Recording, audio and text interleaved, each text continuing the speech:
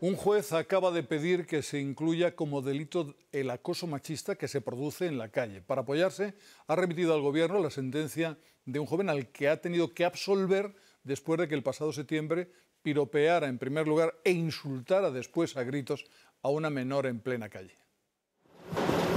Caminar tranquilamente por la calle y recibir un piropo.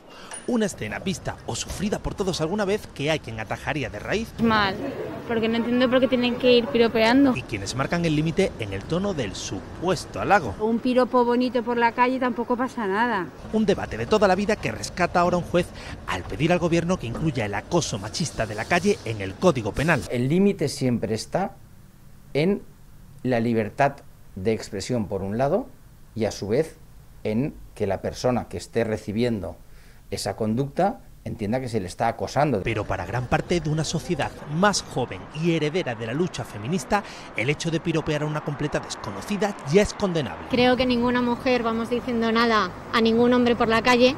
Eh, entonces no entiendo por qué un hombre nos tiene que decir a nosotras. Hay que empezar a hacer buenas costumbres y que cada uno se guarde su opinión para cuando se la pidan. ¿Vale? Y por eso se hacen necesarias campañas como esta para concienciarnos.